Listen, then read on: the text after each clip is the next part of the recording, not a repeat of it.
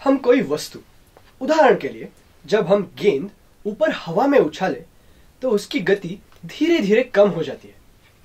एक विशिष्ट स्थान पर वह शून्य होती है। फिर वह गेंद फिर से नीचे की ओर आने लगती है। यह वस्तु ज़्यादा से ज़्यादा कितनी ऊंचाई तक जा पाएगी? यह आपने नौवीं कक्षा में न्यूटन के गति विषयक समीकरणों के आधार पर सीखा हुआ है।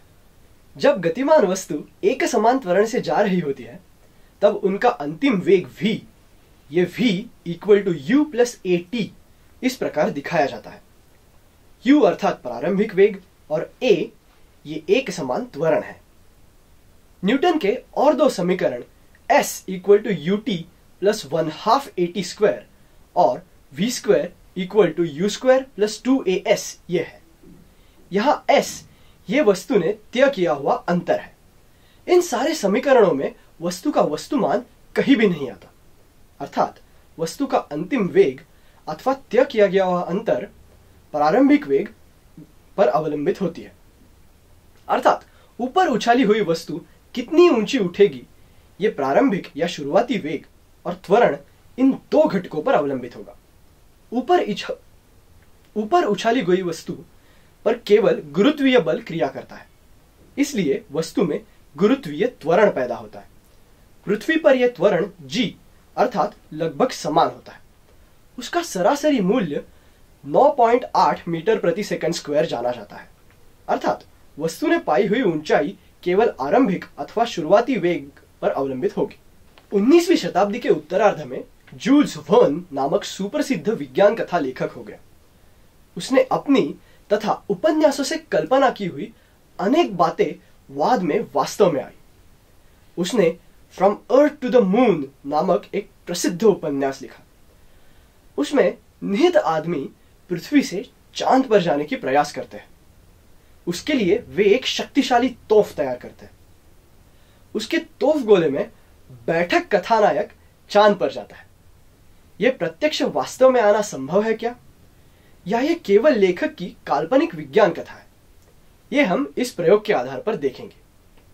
जब तोप गोला तोप से बाहर आए तो वह कैसे आता है? पर्याप्त शक्तिशाली तोप न हो तो गोला वापस ही गिरेगा। उस गोले का मार्ग अणुवृत्ताकार अथवा पैराबोलिक होता है। लेकिन हमने तोप की शक्ति बढ़ाई तो गोला थोड़ी और दूर जाकर गिरेगा। इसका मतलब यहाँ भी तोप गोला उसके अणुवृत्ताकार या पैराबोलिक मार्ग से और आगे गिरा हुआ है।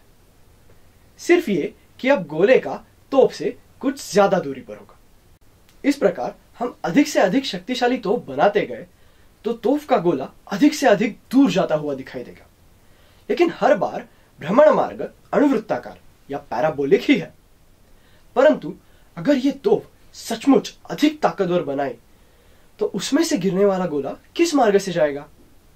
तो आपके ध्यान में आएगा कि वह गोला वृत्ताकार या लंब वृत्ताकार कक्षा में पृथ्वी के इधर घूमने लगेगा। उसका मार्ग अलग प्रकार का दिखेगा।